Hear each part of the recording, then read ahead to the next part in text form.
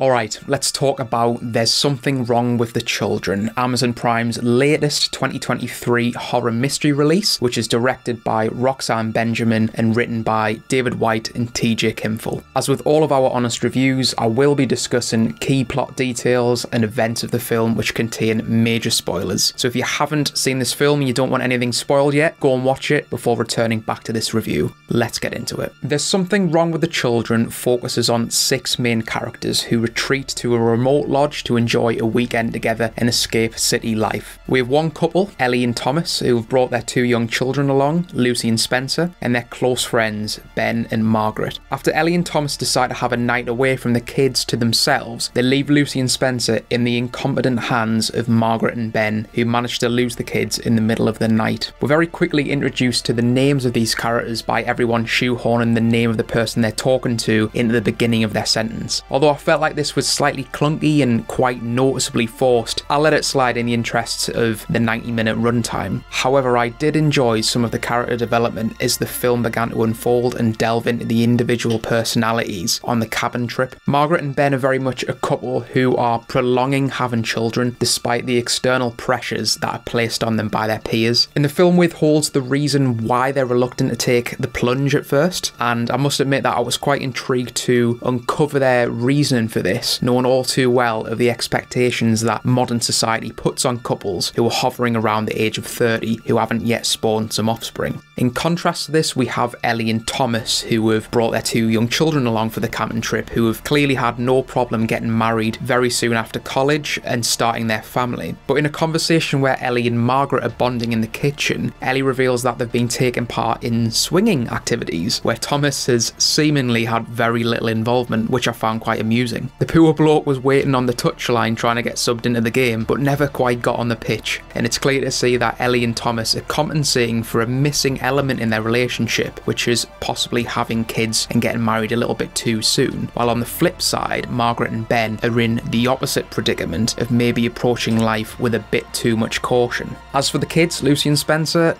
well, they're absolute freaks for the majority of the film, but we'll explore that a little bit later. As the families explore the woods, they come across some ruins that are in the side of a cliff and proceed to explore inside. Again, I like the idea of the caved ruins and I have appreciation for their inclusion in previous horror films that I've seen. For example, it reminded me a bit of As Above, So Below or The Hole from 2001, and I guess the obvious inclusion of that is the Descent films. But this is where I believe the movie takes a bit of a strange turn and the plot becomes a bit outlandish for my liking. The kids find a large shaft in the ruins and become rather infatuated with it, with Spencer wandering a bit too close to the edge before being pulled back. As I previously mentioned, Margaret and Ben look after the two kids on the night time so that Ellie and Thomas can have some alone time together, probably to go swinging again, to patch up their fragmented relationship. And in the morning, both Spencer and Lucy have gone missing somewhere, and it's revealed later in the film that they've returned to the cave again and they've come back to the cabin acting very differently to what they were before. Their personalities have suddenly become more devious, their intentions can be perceived as sinister, and they have this devilish smile that they're wearing on their faces most of the time. However, Ben is the only adult who seems to be aware of the behavioural shift in the kids. There's several instances where Ben sees something that looks threatening, but when intervening, it appears to be something completely innocent that the kids are doing. I really like this conflict going on in Ben's psyche, which consists of the kids gaslighting him while he wrestles with his own realities. One particular scene shows the kids pouring a whole bottle of medication into Thomas's drink, with Ben slapping it out of his hand before he can take a sip, but then it's revealed that the bottle is still completely full of medication. And it's this distortion of reality that's blended perfectly with the revelation that Ben was suffering from mental health problems and had lost a lot of previous employment as a result of his difficulties. But as the plot progresses, it becomes pretty obvious that it's not just all in his head and there's something supernatural that's going on and it's connected to the pit in the ruins that the kids have fallen into and returned with insect like tendencies. We see this as Lucy and Spencer create this completely made up language to communicate with each other, which sounds like their mouths are clicking as their mannerisms and actions actions begin to turn more aggressive. We see a shadow of a giant insect cast onto the walls, but when they walk around the house, it's just their human figures standing there. The kids one by one dispatch of the adults, throwing them into the pit. And this is probably my biggest gripe with the film. It's never actually revealed why they're doing this, what is in the pit, what's the link with the insects. I waited eagerly for 90 minutes to get answers to these questions, but they never came. And yes, I completely appreciate that sometimes everything doesn't have to be revealed, but in this instance, in my opinion, it was just odd and out of place and it didn't really serve a purpose. And I was left with this feeling of pointlessness. I was hoping that there was a reason for all the devious antics and the cryptic writing, and all I got was a three foot Yossi Ben Benayoun and Little Red Riding Hood acting strange for 90 minutes, with no payoff in the end whatsoever. So, did I enjoy There's Something Wrong with the Children? Well, I don't really feel like it was a complete waste of time, but there's also very little that I feel I've taken away from the film as a horror fanatic. The setting isn't anything that we haven't seen before down the years. It relies heavily on that cabin in the woods genre, which has been tried and tested, recycled, and reused repeatedly. The opening scene smacks you around the head with a sledgehammer of pathetic fallacy, with lightning flashing across the sky, obviously foreshadowing dangerous events that are on the horizon. But the sound design of the lightning is just shocking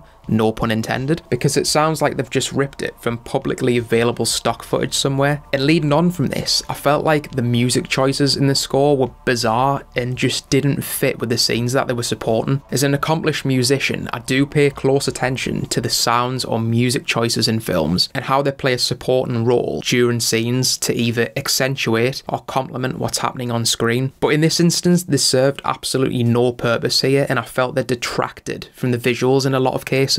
I felt the imagery was okay. Lucy wore a red hoodie, which had these pointy ears for the majority of her scenes, which I imagine director Roxanne Benjamin wanted to use to portray her as the antagonist of the film with connotations to the devil. And there's several moments where the kids have a green twinkle in their eye to show that they're under the influence of another force. And the eyes are obviously regarded to as the windows of the soul. So showing that twinkle signifies a sense of corruption to the innocence of the kids. So I can definitely appreciate some of the the techniques used here, but ultimately it's the plot really that falls apart for me in the final act. There's no development whatsoever as to what the ruins are, what's down the pit that's glowing green, why are the kids acting this way, what is controlling them, and what's the reason for the symbolism of insects. It's these omissions that reduce the quality of this watch for me, and it leaves a sense of incompleteness rather than mystery. But that's just my thoughts and opinions on There's Something Wrong with the Children. Did you agree or disagree with anything that I've said in the video? Let me know all your thoughts and feelings down in the comments below. And until next time, I've been Huw from Unleash the Ghouls, and I'll see you later.